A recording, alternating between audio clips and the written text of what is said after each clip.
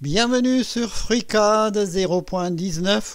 Vous voyez, ça a changé un petit peu. Hein euh, sur Artix Linux.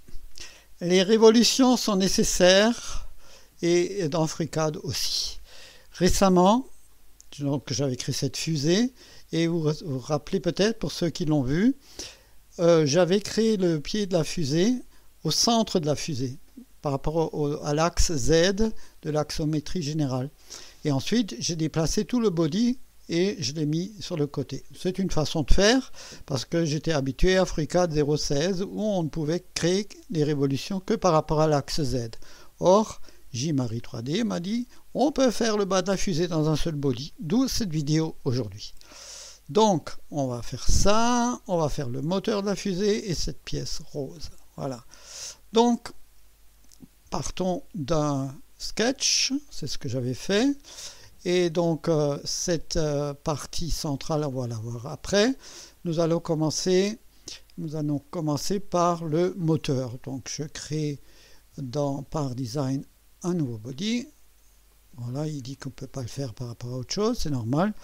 Je vais tout de suite le nommer. Je clique ici, F2, moteur. Voilà. Je ramène le sketch que voici sous forme une forme liée, sous, la forme d'une forme liée, voilà.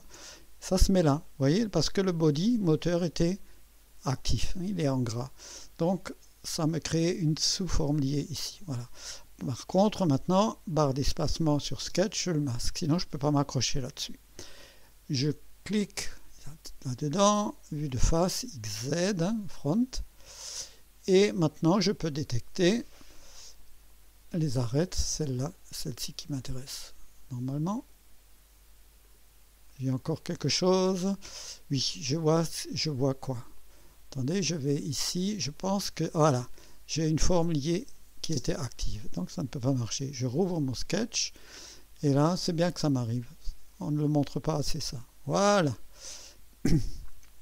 Donc on va créer ce moteur, un arc de cercle en son centre, ici, je m'accroche là-dessus, là-dessus.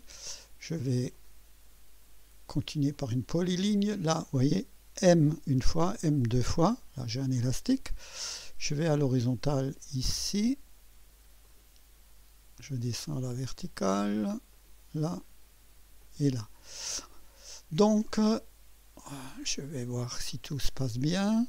Donc, euh, ça, je le mets à l'horizontale. Je presse H ou j'appuie là-dessus. Ça et ça, je presse sur C, ça doit être coïncident. Maintenant, j'indique une hauteur. Donc je crois que c'est 30 mm. Voilà. Et si je mets maintenant ça au centre, ce trait, ça va me faire un moteur plein. Si je vais là, c'est pour ça que je l'ai dessiné. Si je vais un petit peu ici, je vais avoir une pièce creuse. Donc je sélectionne l'axe euh, Y ici, pas l'axe Z. Avant j'avais dit l'axe Z, c'est l'axe Y. Et puis, non, c'est l'axe Y de mon dessin, mais c'est l'axe Z de, de l'espace 3D.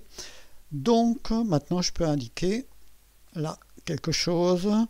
Donc je vais avoir du 6.33, je crois. 6, non, 6.15. Voilà, c'est ça. Donc tout est vert. Et maintenant, je peux créer une révolution. Donc vous allez voir, c'est tout bête. Voilà. On a donc une forme creuse. Voilà. Ça, c'est quand tout est bien centré, etc. Maintenant, on va arriver à ce fameux pied de la fusée. Donc je crée un nouveau sketch. Je clique dans le bleu pour que rien ne soit sélectionné ici. Je, attendez, je masque d'abord mon binder, sinon je vais avoir la même surprise. Je crée un nouveau body, je clique ici, clic gauche, F2, et je vais écrire pied. Hein. Voilà. Pied. Alors là, comme avant, je sélectionne le sketch. Euh, le body il est actif, hein, il est gras, et je clique sur l'icône verte ici. Hein, voilà, sous forme liée. Maintenant, dans ce body 2, je crée un nouveau sketch, vue de face de nouveau, XZ, et normalement je peux m'accrocher là-dessus on va voir ça. Voilà, je peux m'accrocher là-dessus. Je peux même m'accrocher là-dessus, pourquoi pas. Voilà, je vais créer deux arcs de cercle. Alors, un premier arc de cercle Ici, oui, je préfère m'accrocher là-dessus parce que les coïncidences, point sur point, j'aime pas trop. Fricade les paires parfois.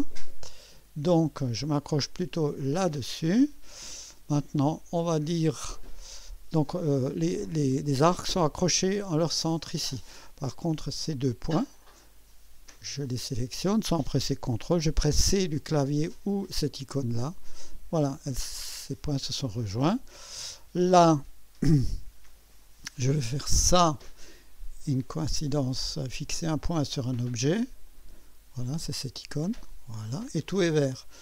Mais c'est faux ce que j'ai fait parce que pour faire une rotation, il me faut que la moitié. Donc un de ces éléments est de trop. Celui-là, il est de trop.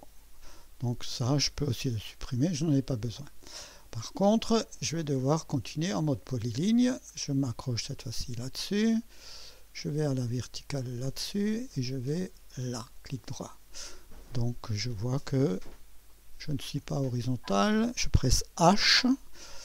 Ici, je ne suis pas vertical. Je presse V. Voilà. Maintenant, qu'est-ce qui manque La hauteur de tout ça? Oui. Ah oui, parce que je ne suis pas... Oui. Bah, je, je vais faire ça. Attendez, je vais lui indiquer une hauteur, je préfère. Je vais lui indiquer une hauteur de 50 mm. Voilà, tout est vert. Maintenant, je peux créer une révolution. Alors, on va y aller, vous allez voir. J'ai créé une révolution et ça me fait ça. C'est normal. Il fait par défaut la révolution par rapport à l'axe Z de l'axométrie générale. Voyez Donc euh, l'axe Z, oui, il est là, Z, hein, c'était bien ça. Mais moi, j'aimerais choisir un autre axe. Bah, j'ai rien, une, référence, je, n'en ai pas au milieu là. Je veux bien, mais j'ai rien. Attendez, peut-être que ça marche comme ça. Oui, là, oui, mais là au milieu, j'ai rien. Alors comment faire? C'était le but de la manœuvre. Je rouvre mon sketch ici et je vais tout simplement passer en mode construction en cliquant ici ou en pressant C et je vais tracer une ligne que je vais accrocher là et là. Voyez, c'est une ligne de construction, vous allez la voir, elle apparaît là. C'est celle qu'on vient de tracer. Donc, je peux euh, maintenant créer une révolution. Je choisis, je sélectionne mon sketch, je clique sur révolution. Là aussi, il va me proposer ça d'office. Mais là, je peux, vous voyez, j'ai ligne de construction 1, c'est la première qui s'est affichée. Et là, la révolution, elle se fait autour de ça. Si j'avais dessiné un trait euh, sur mon sketch ici, j'aurais pu m'accrocher sur la forme liée aussi sur le trait vertical.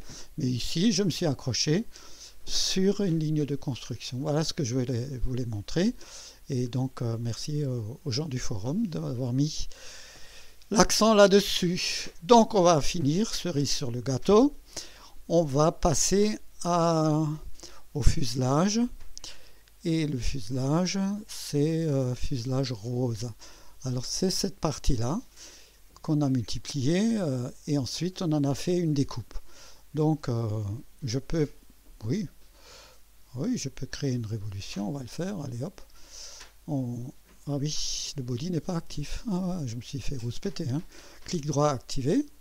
Alors je choisis de nouveau cette, ce additive loft, ce lissage. Clique là-dessus et là je peux indiquer 6 occurrences. Donc normalement j'ai ça. Voilà. Maintenant, j'aimerais la forme de la fusée.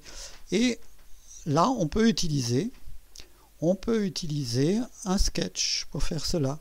Donc j'ai un sketch qui se balade quelque part là-dedans, celui-là. Vous voyez, si je, si je l'édite, je, je passe en mode filaire. Je fais comme pour le moteur, hein. j'ai créé une forme, sauf, enfin un sketch, sauf que je l'ai fait aller vers l'extérieur. J'ai mis une dimension approximative qui dépasse largement la fusée, et ça nous fait donc ça. Donc, à partir de ce sketch, je peux créer une révolution, mais une révolution inversée si vous voulez, une espèce de cavité circulaire qui s'appelle ici faire une rainure ou un groove en anglais. Donc je clique là-dessus et normalement, voilà, ça me découpe le fuselage par rapport à la forme de la fusée. Voilà donc ces, ces trois formes de révolution par rapport à l'axe Z, une révolution par rapport à un axe donné et une révolution négative, enfin une rainure ou un groove pour découper une pièce euh, à l'aide d'un sketch, à l'aide d'une révolution. Voilà ce complément d'information qui, je pense, sera utile à certains et à moi. De toute façon, j'ai retenu la leçon. Merci beaucoup pour votre attention.